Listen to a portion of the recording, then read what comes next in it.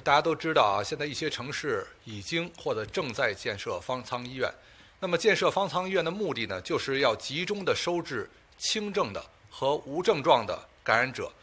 那么它也是我们阻断啊疫情的这个特别有效的一个手段。而且大家都知道，医疗资源本身就在咱们北京市比较紧张。那么它能够防止这种医疗资源被挤兑，而且更关键的环节是，它能够及时有效的让我们的这种新冠的患者、无症状的患者得到有效的救治，让我们社会的稳定、家里安心。所以在这里头呢，我们也是本着啊，咱们老经常说的“备而不用，而不能用而不备”的这种原则，而且本着预防为先、做足准备的这种原则。着手进行咱们北京市的方舱医院的建设工作。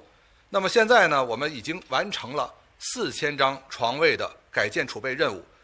呃，未来呢还将做在一些大型的场地呢，抓紧规划建设较大规模的方舱。大家不要紧张啊，其实我们的北京没有那么多病人，但是我们确实要未雨绸缪，我们要先做一些准备。这样的话呢，让老百姓真正能感觉到我们是在一个安全的环境下生活和工作。那么在这里头呢，也多说两句。其实我们不是光北京市在做，这这个市政府在做，我们相关区啊也在着手开展方舱方舱的这种选址以及规划改建等工作。那么希望呢，能通过咱们市区两级的这种共同努力，为市民打造疫情防控的一个坚实的屏障。